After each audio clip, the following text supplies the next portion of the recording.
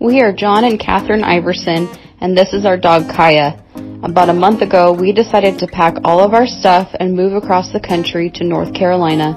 We hope you enjoy watching all of our crazy adventures with living on the East Coast and making this house our home.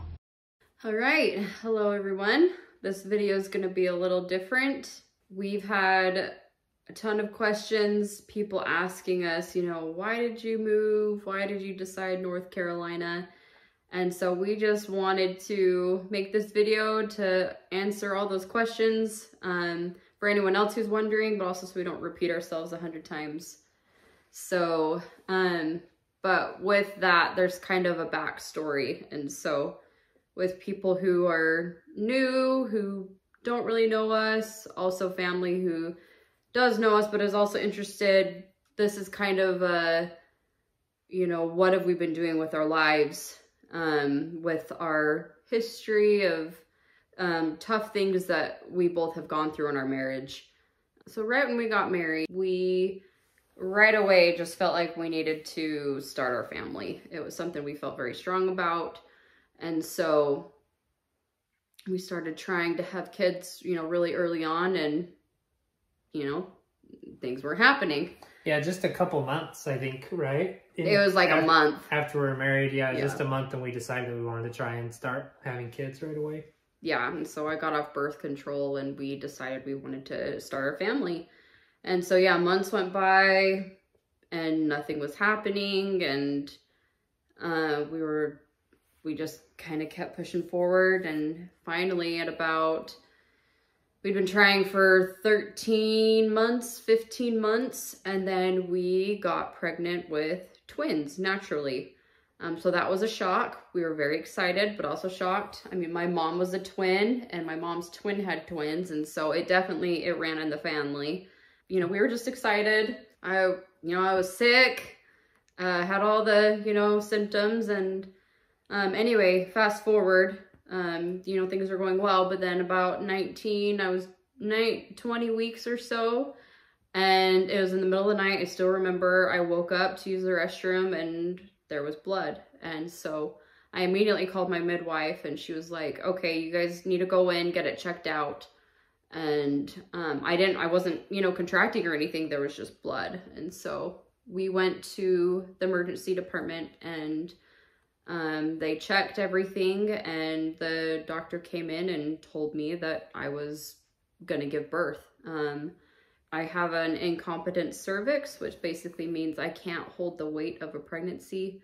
Um, at this point, it was too late to do any sort of intervention. And so we just, I had to give birth. And that was very uh, traumatic, to say the least.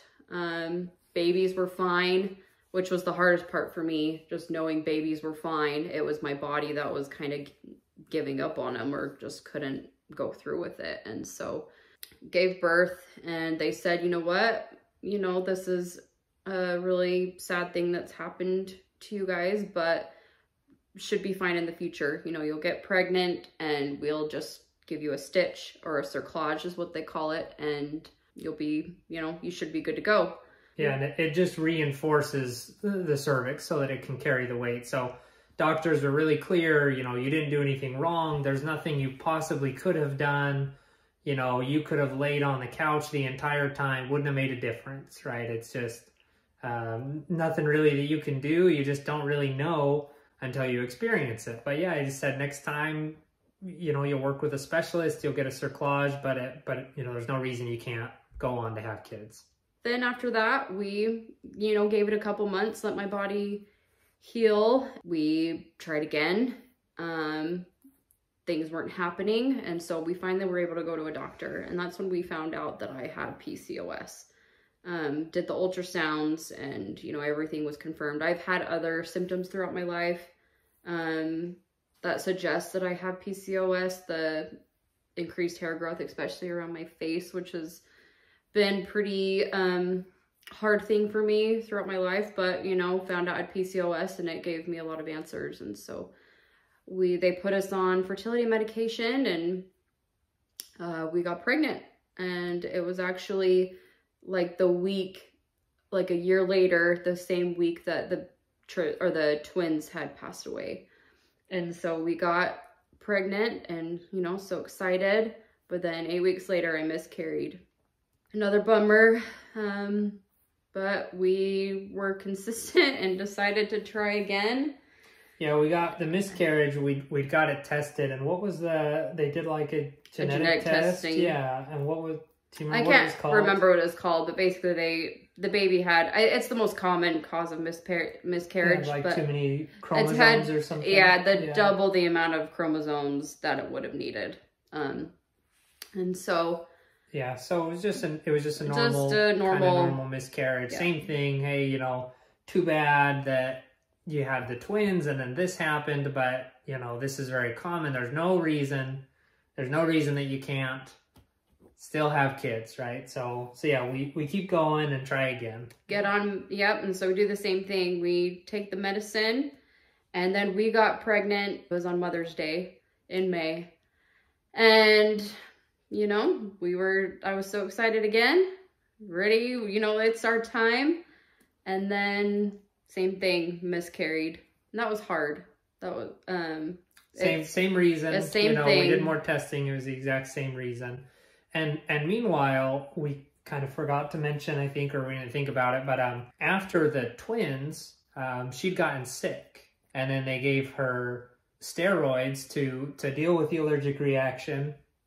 And ever ever since then, she just started having like we didn't know it at the time what it was, but started having anxiety anxiety attacks I had a um, tight throat for like six months. Yeah, or it felt like she couldn't breathe almost. Just it was really uncomfortable, and but started kind of experiencing symptoms then after after the loss of the twins of anxiety and and its effect. So after second miscarriage, um, we were finally like, okay, we need a break from this. Maybe this isn't our path. It just doesn't seem to be working, and so um, we decided to try foster care. So we got certified and immediately, you know, we looked on the website and we found a sibling group of three kids that we felt we wanted to pursue and have, you know, to to adopt. To adopt. Yeah, they, we were, we were looking to adopt kids who were like whose these, parents had lost their rights and they were just in state custody and we we were going to adopt them and and so we had went through that route and at this time my health started to I started showing more signs. I was really dizzy, um, which was the main sign. We got to the point where we were about to meet the kids in person and that's when I had my first panic attack was in 2018 and I'd never experienced a panic attack before.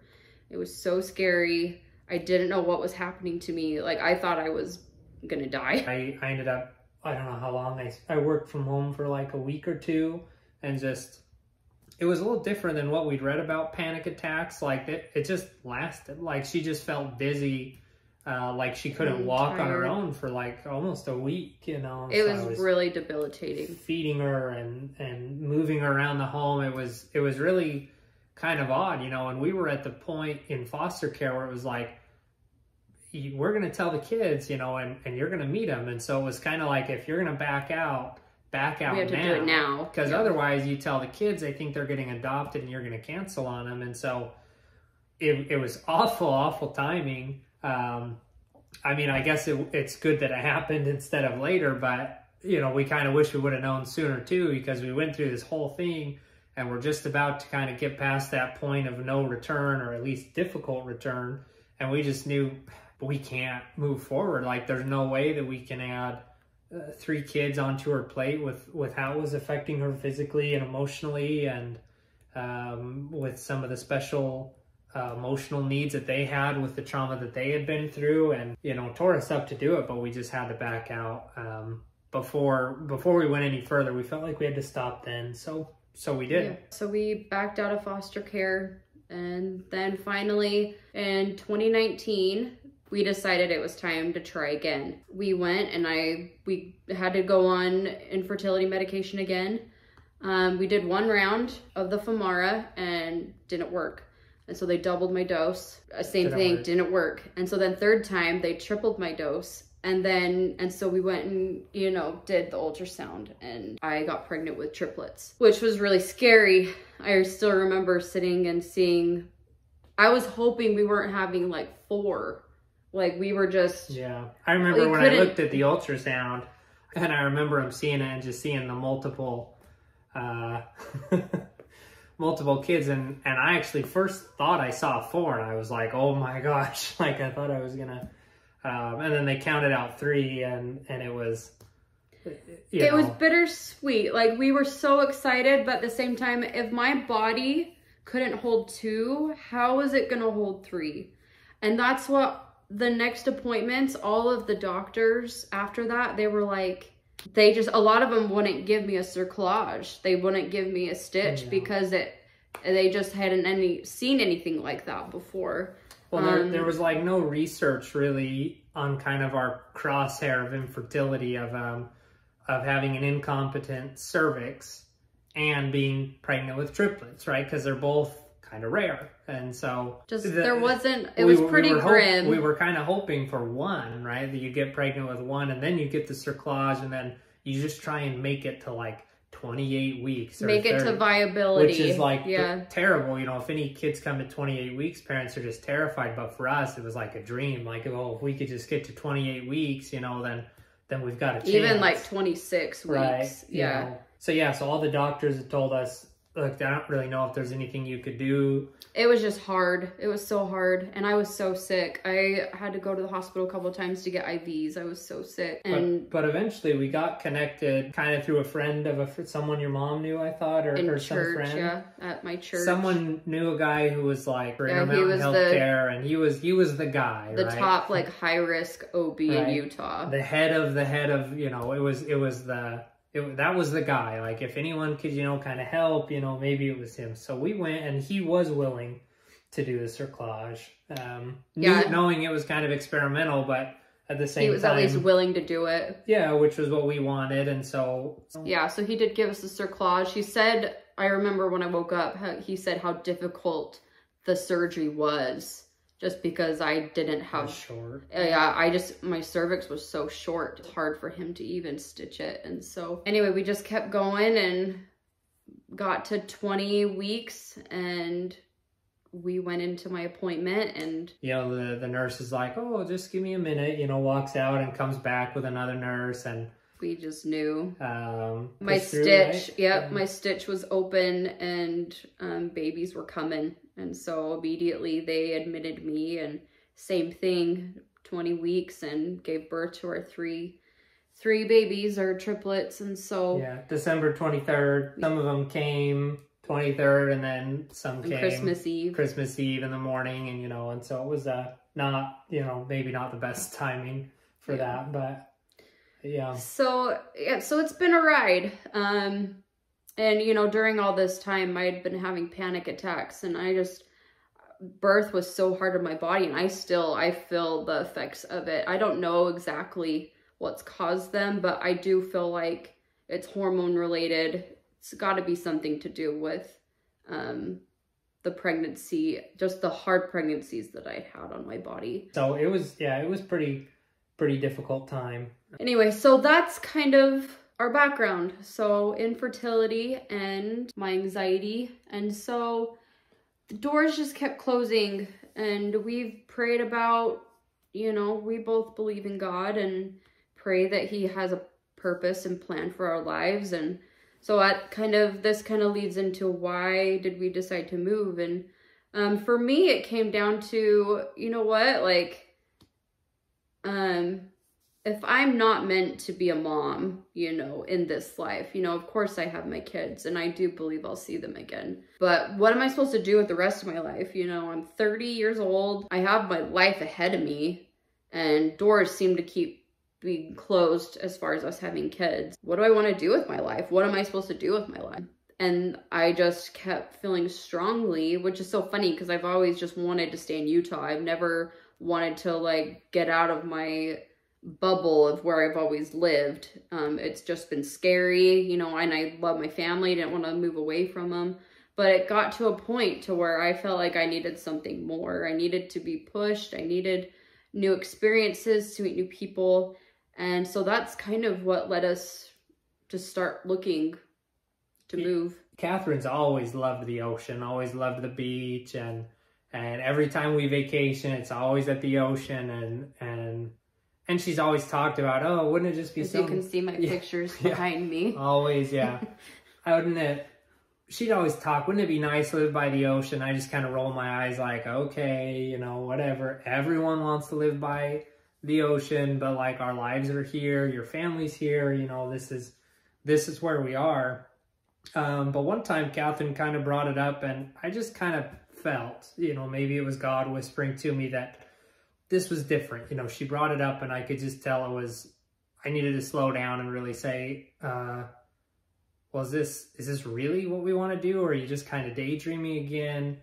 Are you really serious about this? You know, because if so, we'll figure it out. You know, if it's really important to you and it's something we need to do, then you know we'll do whatever we have to. Uh, my work since COVID had kind of become more remote than it was initially, and Catherine has a job already that supports remote work and and I thought, well, you know, I think my work would support it, but if not, there's other places we can work if we have to. If if you're serious about it, and talked more and found out pretty quickly that she was really serious about it. It felt really strongly like it was something that we uh, needed to do, and that that's kind of where it, led to. I I really wasn't excited about the idea. I wasn't real excited. We were in a, a good affordable home. It was a new home, and didn't didn't really love the idea. I Wasn't was- ready. I was a bit frustrated about it. Um, just kind of took some time to pray about it and asked, you know, is this really something that we need to do? And I remember feeling very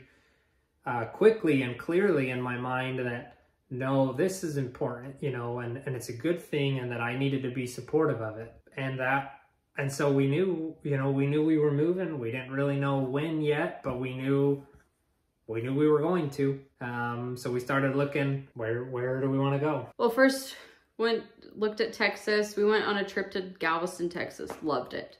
And so we're like, oh. Let's go Texas. Let's move to Texas. And then we went on a trip to Florida. Loved Florida.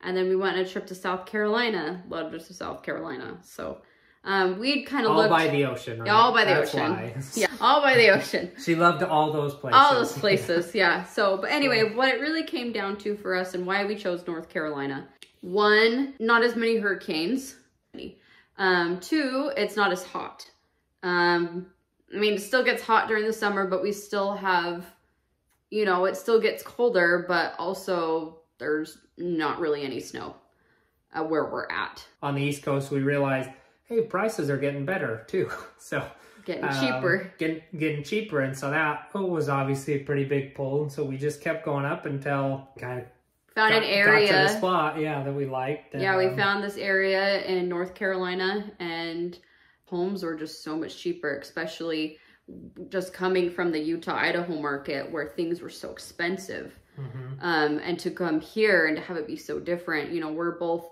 have the big goal of getting out of debt and that's really important to us. And so that was also part of our search. And luckily this area that we found was we found Yeah. something very good and affordable and a very big blessing to us. And so we, we traded, we got a little bit older home and it's a little bit smaller, uh, but it has more. Uh, we were in a townhome before, so the square footage is smaller, but it has a yard, which Big we yard. didn't have. So, which is great for Yeah. our dog. yeah. So, and it's nice also just to be out of, like, we don't have an HOA, which is also Mhm. really nice because there's a lot of places here that do have HOAs. And so it's nice to just have our space, you know, become more self reliant, you know, get out of debt and garden. And maybe eventually we'll get chickens, who knows. But, and so those are kind of the big reasons why we decided to come here and hopefully that answers some of your questions. It's it's different, you know. We're a lot further away from family, but we've we've been happy, you know. It's it's fun to be here. It's been really nice here. It's it's a pain sometimes having all the projects. I get tired of it, but um, at the same time, it's it's Never it's- bored here. It's good, yeah. We've just had a lot more time. We're working on projects together, so ha- having things we're doing together that way instead of just needing to fill our time separately. So it's it's been good. I think with Catherine's anxiety and how it's kind of progressed and made things difficult is is really good. It gives us something we can we can do here that's comfortable and fun for her and and let's grow closer together too. So yeah. Thanks for watching. Sorry this video is a little longer than normal, but hopefully that gives those of you who don't know us a good background of kind of our marriage and who we are a little bit and also answer some of those questions of why we're here in North Carolina. So I, I would just say too, I, I think, I mean, really this is just our friends and family that are watching it. We've had a couple people subscribe to our videos who, who we don't know. Um, but I just say that if there's anybody else watching this who's dealing with infertility, maybe early in, in that battle or, or with anxiety and is trying to learn more about anxiety or panic attacks, we're by no means experts, but we've learned a lot from our journey. So certainly feel free to reach out if you have questions about that specifically. Thanks for watching and let us know what other things you want to see in the area and thanks for your support and we love you all.